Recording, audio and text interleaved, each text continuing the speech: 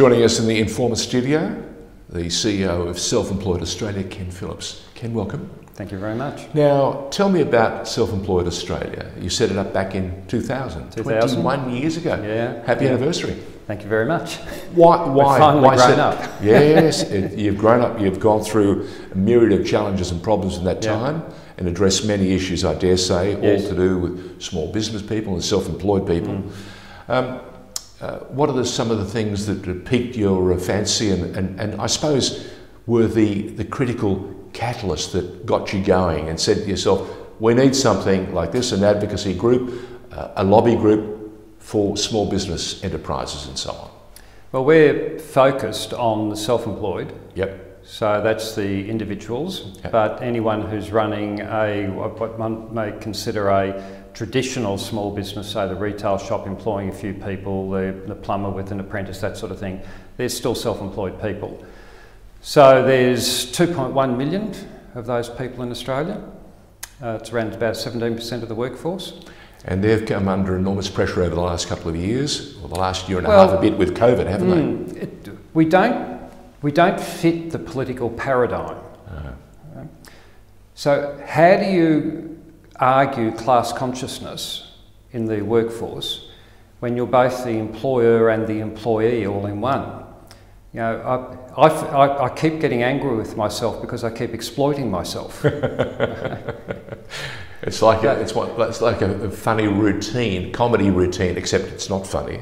And no, well, it's and the not truth. comedy. It's the Yeah, truth. yeah. And uh, when you're self-employed, you live in the marketplace. There's no protection from the marketplace. You you take it as it comes. Mm.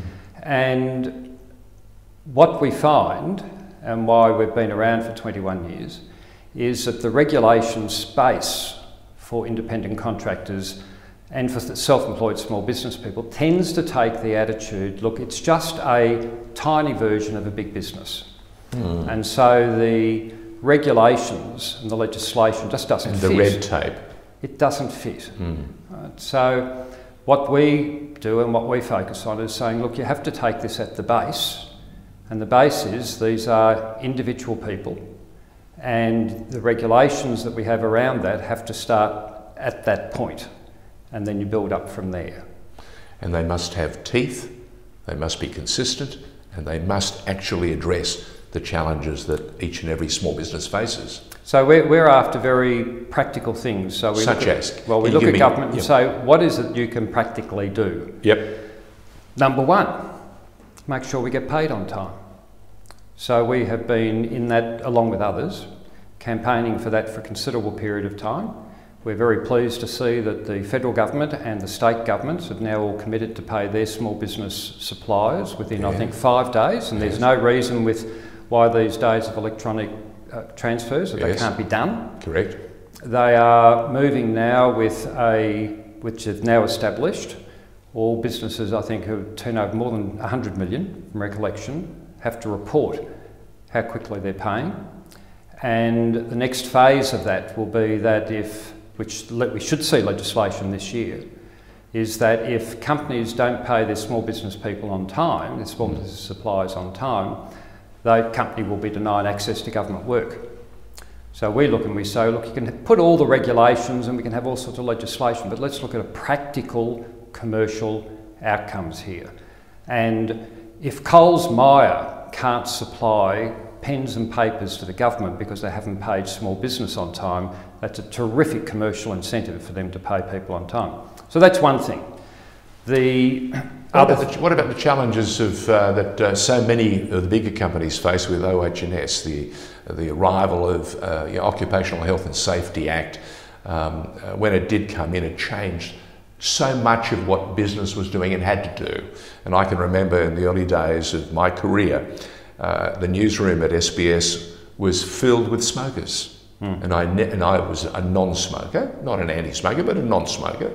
And yet, everywhere around me in the studio, uh, in the studio uh, complex where we were editing, uh, which were tiny little cubicles, um, the smokers were mostly the editors, and they would smoke their way through all manner of cigarettes day in, day out. Uh, and then, of course, suddenly OH&S started raising huge questions about the good health of the broader work, uh, workforce, and suddenly we saw this edict come out.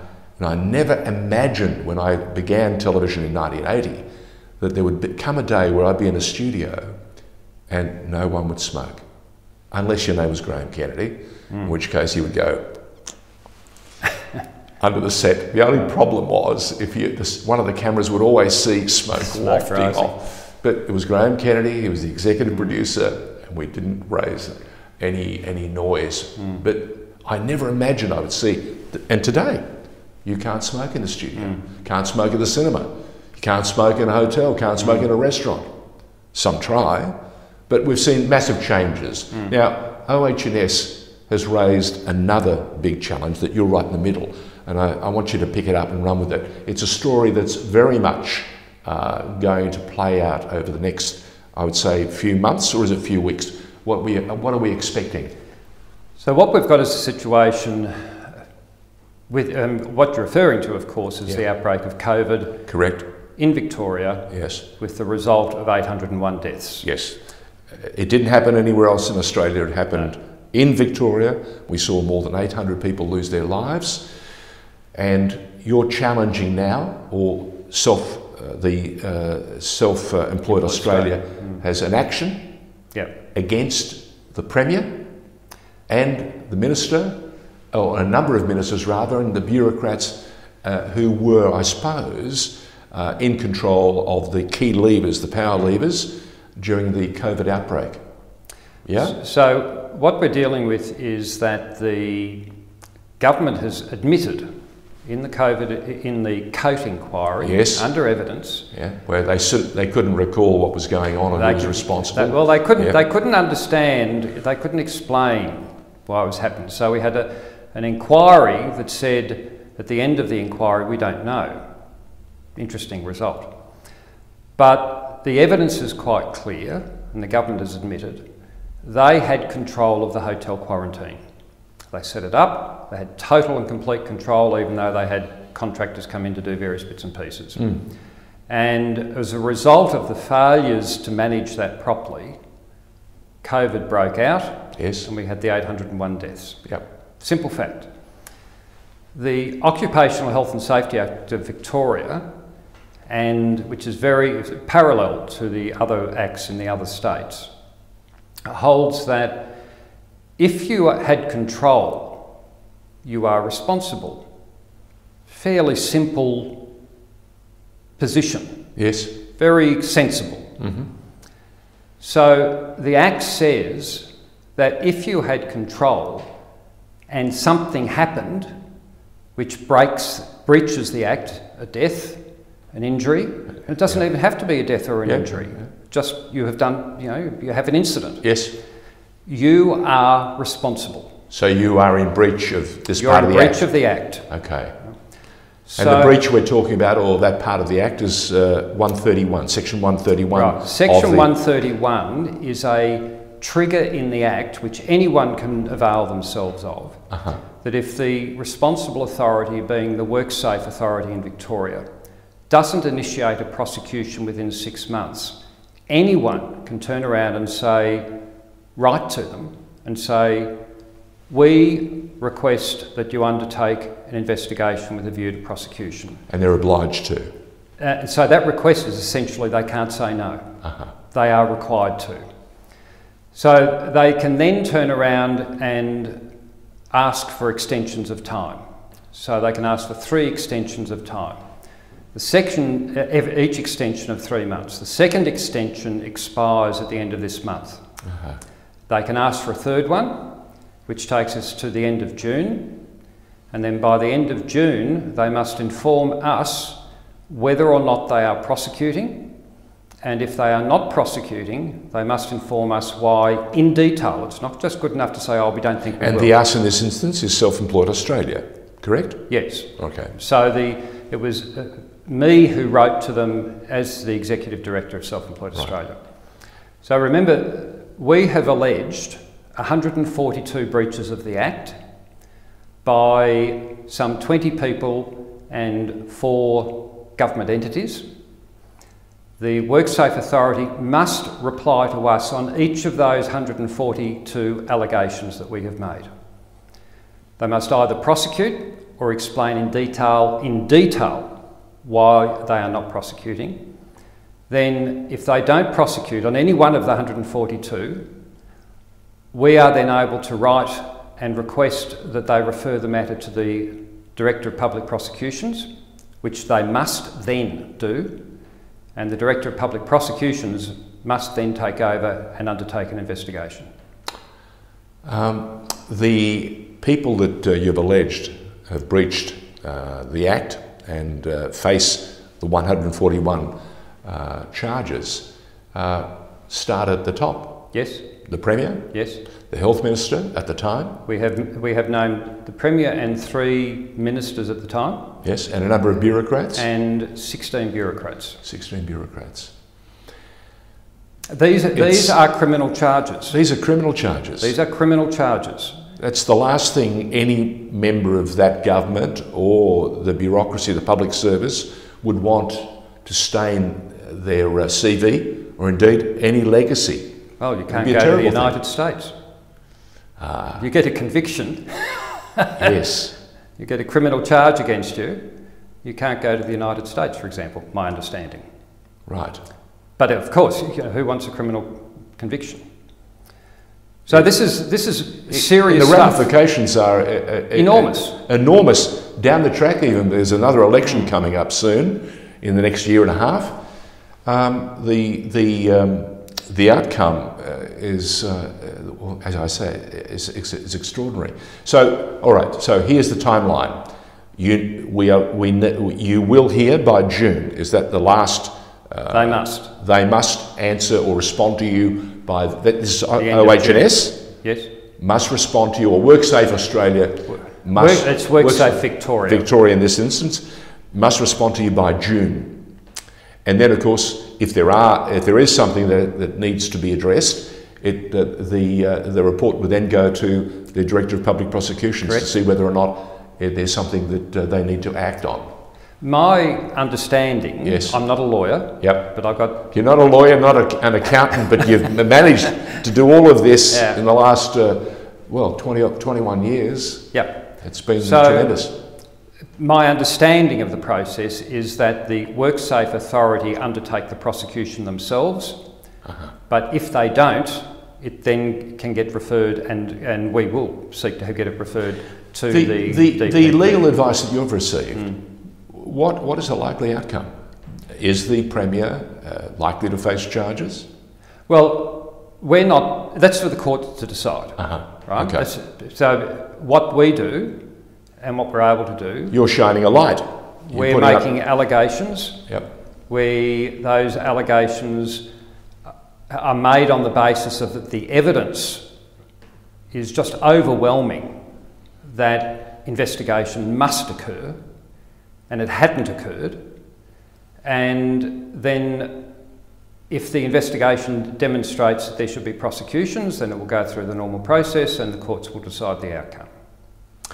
Um, I, I, how many people saw this coming? When did, when did it dawn on you that there was something substantial that Self Employed Australia had to act on? When did it become apparent that things weren't being done or needed to be done or had been let go? Was it after the Coate inquiry? Did you sit there and, and wait for the outcome of the Coate inquiry? And when that didn't provide the sort of responses you needed, or indeed the clarity that so many Victorians had wanted to hear, um, was that when you started uh, preparing the way forward to, uh, well before, know, the, well, well, before that well before the Coate inquiry. Okay, I, I, can't recall the exact timelines, okay. but I suspect probably before it was even announced. So while the Coate inquiry was, was running, you must have been thinking to yourself, let's see what comes out of this. But in the meantime, you had already set the wheels in motion.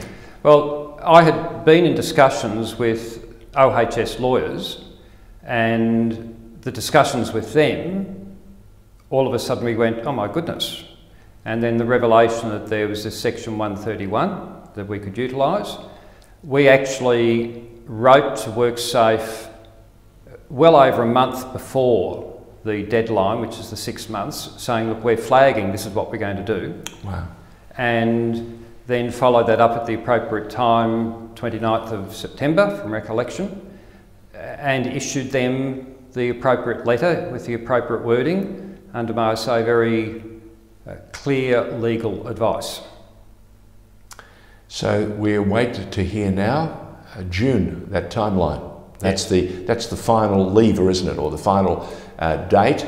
And uh, failing uh, you hearing uh, the uh, the response that you want, you will then uh, set in the next set of uh, wheels in motion. I'd, I'd, I'd almost, yeah, I'd, I'd almost say that the end of June is the starting gun.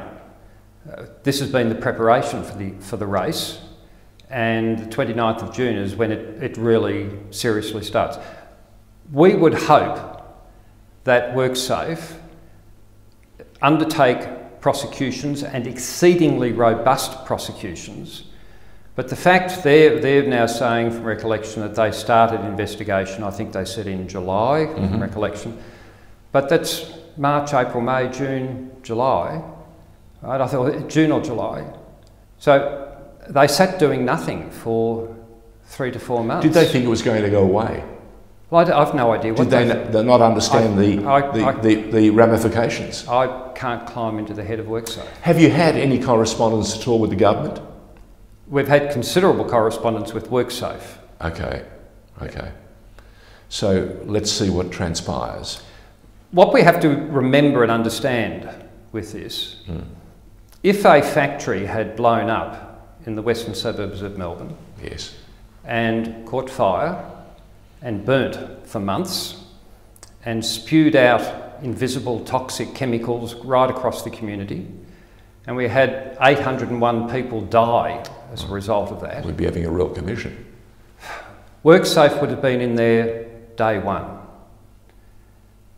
And if it was a, run by a, a private company, everyone from the chairman right through the whole, whole lot would have been under investigation and I dare say prosecutions.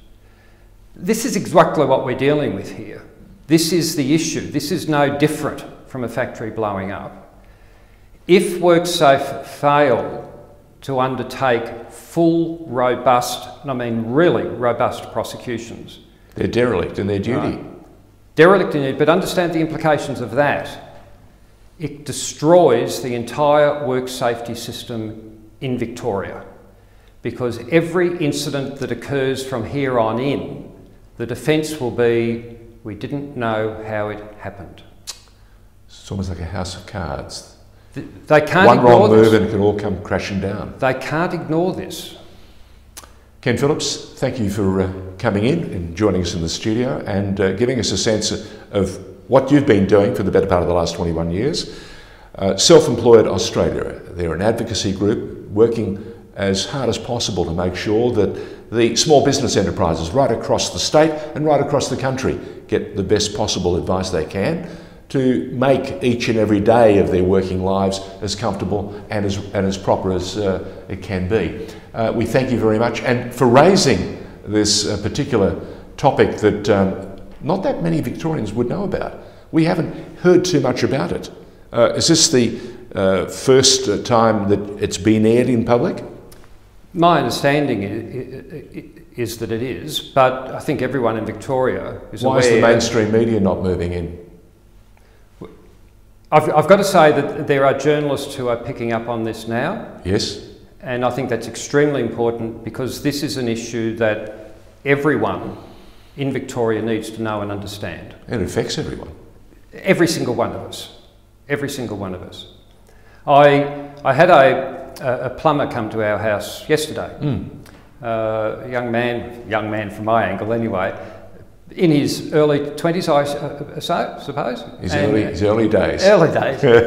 and lovely fellow, really knew his plumbing, came in, did a great job. And I, you know, I thought to myself, that guy deserves to go home to his family every day. Correct. That's what we're doing here. Right? We're protecting the system that must ensure as best we can that he can go home safely every day. And if we don't proceed with this prosecution, that's what's at risk here. People need to understand that.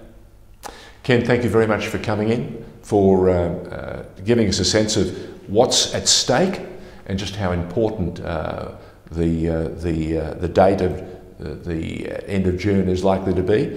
We, let's see now what transpires and indeed how much of this story is picked up by the broader mainstream media and uh, whether or not we get the action that each and every Victorian deserves and we, and we get the whole case prosecuted as openly and as uh, clearly as possible and we get clarity for everybody.